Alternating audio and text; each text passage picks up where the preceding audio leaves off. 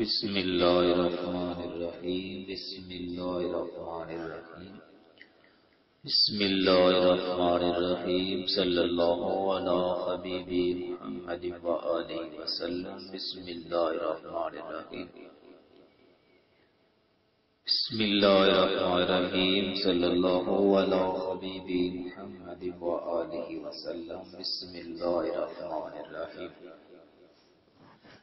السلام علیکم ورحمۃ اللہ وبرکاتہ الحمد للہ رب العالمین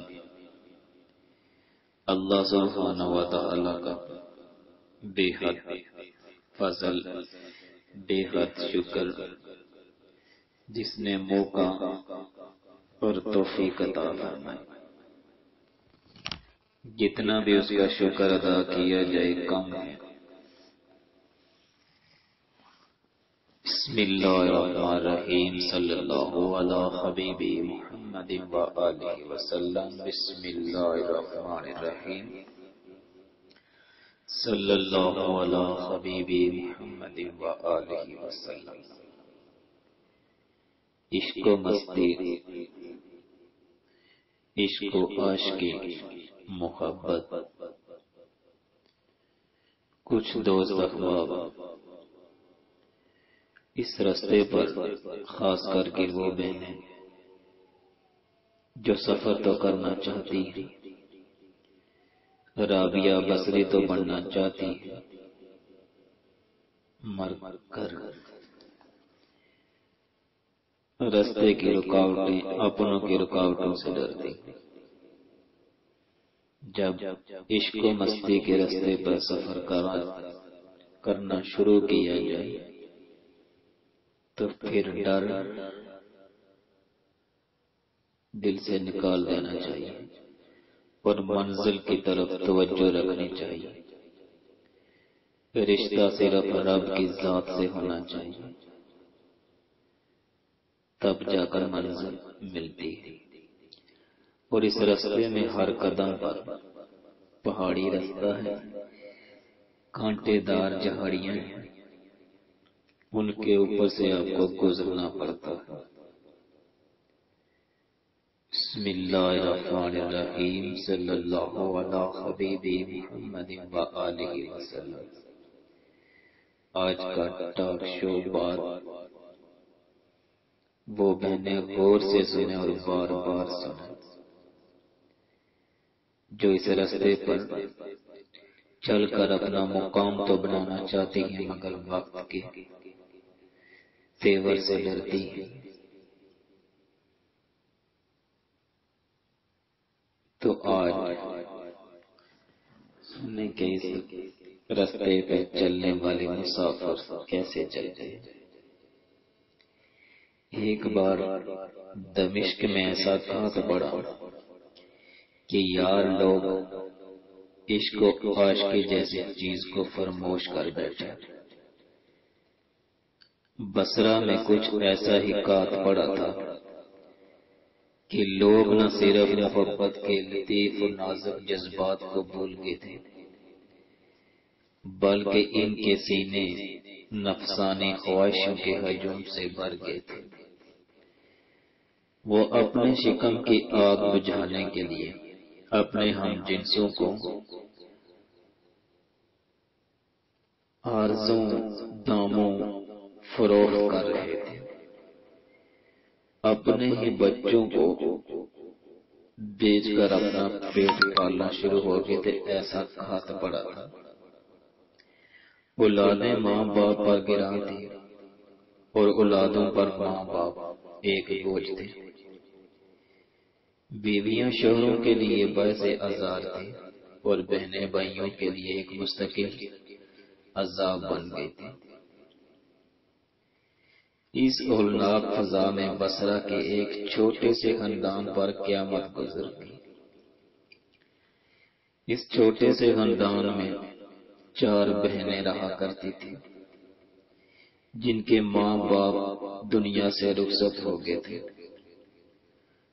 بظاہر کوئی نگران اور کفیل نہیں تھا۔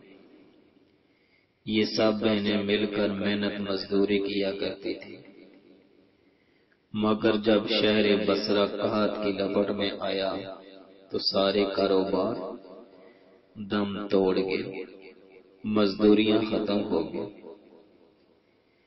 نہ عمر لڑکیوں نے دو تین فاقے تو برداشت کر لیے، مگر جب بھوک ہاتھ سے گزری تو کسی کو اپنا ہوش نہیں رہا۔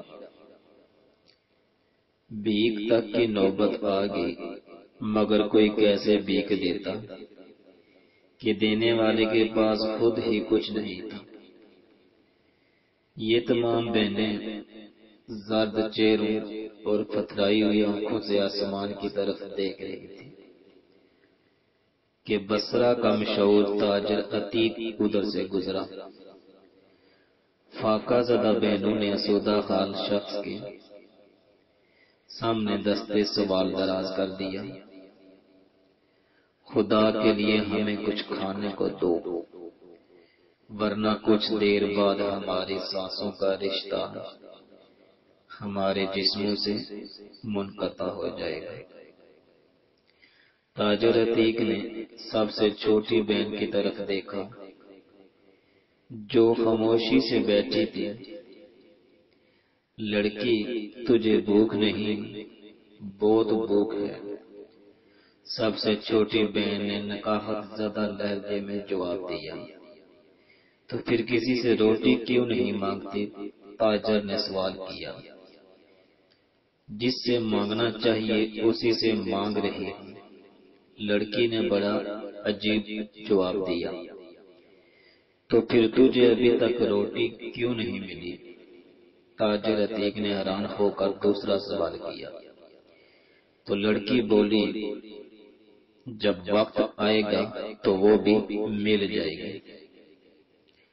لڑکی کا انداز گفتگو مبم تھا مگر لہجے سے بڑی استقامت جھلک رہی تھی۔ تینوں بڑی بہنوں نے چھوٹی بہن کی بے سروپا باتوں سے بیزار تھی۔ اس لیے جھنجلا کر بولی یہ ہم سب کا وقت برباد کر رہی ہے۔ آپ اسے یہاں سے لے جائیں۔ اور ہمیں کچھ کھانے کے لیے دے جائیں یعنی تینوں بڑی بہنیں، چھوٹی بہن کو فروخت کرنے کے لیے تیار ہیں کہ میں کھانے کے لیے کچھ مل جائے۔ تو تاجر بولا، یہ لڑکی بڑے کام کی ہے، میں اسے لے کر ہی جاؤں گا۔ تاجر عتیق نے تین بہنوں کو مخاطب کرتے ہوئے کہا، اور پھر ایک مخصوص رقم چند سکے ان کے حوالے کر دیے چلو لڑکی تاجر نے ان تینوں کی چھوٹی بہن سے کہا، اب تم میری ملکیت ہو، میں نے تمہیں خرید لیا۔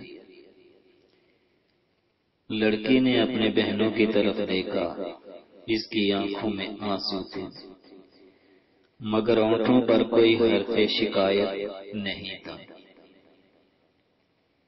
تو جو محبت کے مسافر ہوتے ہیں وہ شکایت کبھی نہیں کرتے۔ اور یہاں محبت کے دعوے دار شکایت کے علاوہ دوسرا کام ہی نہیں کرتے۔ الٹی ہی چال چلتے ہیں دیوان گانے عشق۔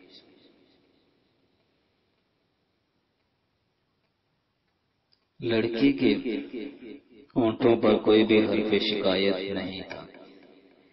وہ اپنی بہنوں کو اپنے بہتے ہوئے آنسو کے ساتھ دیکھ رہی ہے۔ وہ تاجرتی کے ساتھ چپ چاپ چلی گئی۔ اس نے کئی بار مڑ کر دیکھا۔ لڑکی کی آنکھوں میں بس ایک ہی سوال تھا۔ کیا تم نے چند روٹیوں کے لیے چھوٹی بہن کو فروخت کر دیا وہ پیچھے مڑ کر دیکھتے جاتے مگر وہ سکھوں میں مگن تھی۔ کیونکہ بھوک نے انہیں بھی نہ کیا ہوا تھا۔ تینوں بہنوں نے کوئی جواب نہیں دیا اور انہیں بھوک کی۔ آخریت سے نجات مل گئی تھی اور تاجر کے دیے ہوئے سکے گرنے میں مصروف تھے۔ پھر انہیں اپنی چھوٹی بہن کی آنکھوں میں لرزنے والی معصوم حسرتیں اور کانپتے ہوئے سوالات کس طرح نظر آتے۔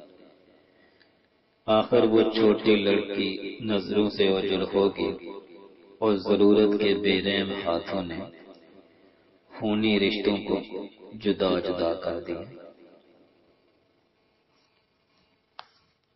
بسم اللہ الرحمن الرحیم، صلی اللہ علی حبیب محمد و آلہ وسلم۔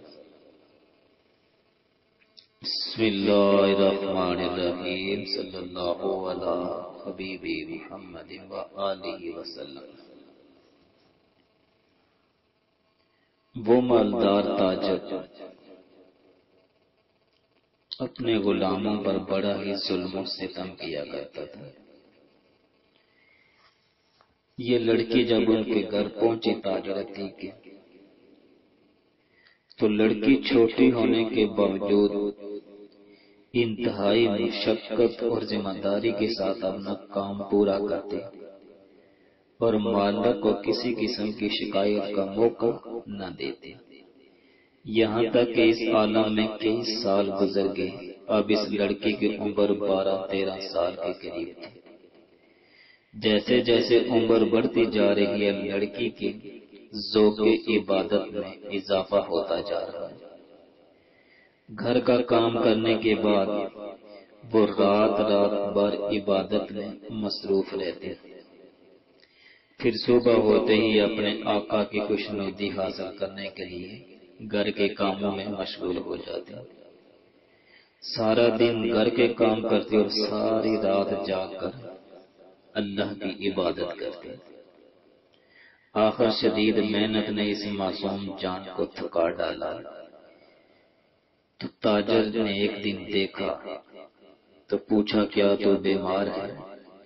لڑکی کے چہرے پر تھکن کے آثار دیکھ کر اس مالک نے پوچھا لڑکی نے نفی میں آقا کی بات کا جواب دیتے ہوئے کہا کیا میں اپنے فرائض کی ادائیگی میں کسی کوتاہی کی مرتکب ہو رہی ہو مالک نے اس کے کام کی تعریف کی اور ساتھ یہ بھی کہا کہ وہ اپنی صحت کا بھی خیال رکھے۔ لڑکی نے آقا کا حکم سنا اور سر جھکا دیا۔ مگر اس کے معاملات میں کوئی کمی نہیں آئی۔ وہ اجالے میں دنیاوی مالک کی خدمت انجام دیتی اور اندھیرے میں مالک حقیقی کے سامنے سجدہ ریز ہو جاتے ایک دن اتفاق سے نصف شب کے قریب آقا کی آنکھ کھلی۔ وہ اپنے کمرے سے نکل کر ٹہلنے لگا۔ اچانک اس کی نظر اس کنیز کی کوٹری پر پڑی۔ وہاں چراغ جل رہا تھا۔ یہ کنیز ابھی تک جاگ رہی ہے۔ آقا نے بڑی حیرت کے ساتھ سوچا۔ اور کنیز کے جاگنے کا سبب جاننے کے لیے کوٹری کی طرف بڑھا۔ دروازہ کھلا ہوا تھا۔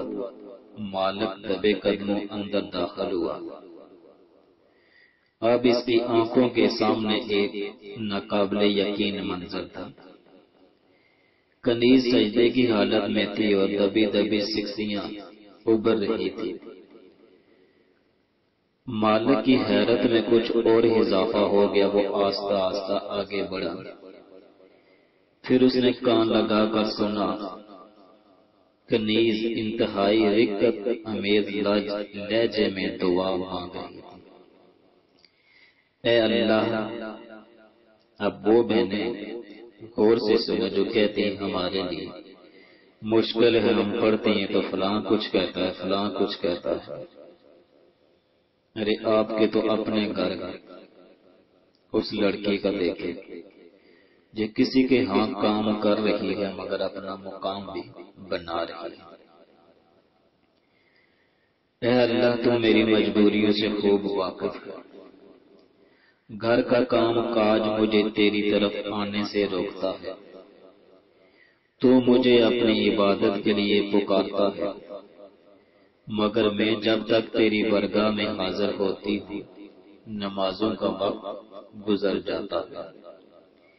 اس لیے میری معذرت قبول فرما لیں اور میرے گناہوں کو معاف کر دیں مالک نے کنیز کی گریا زاری سنی تو خوف خدا سے لرزنے لگا۔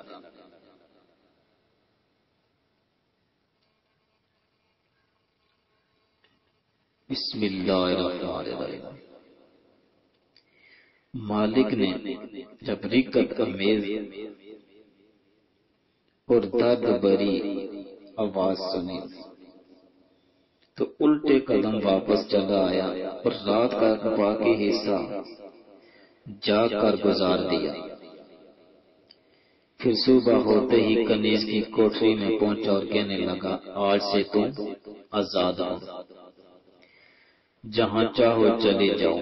مگر میں تمہاری دی ہوئی قیمت ادا نہیں کر سکتی، لڑکی نے کہا۔ میں تم سے کوئی قیمت نہیں مانگتا، مگر ایک چیز کا سوال کرتا ہوں۔ تاجر عتیق کے لہجے سے آجی کا اظہار ہو رہا تھا۔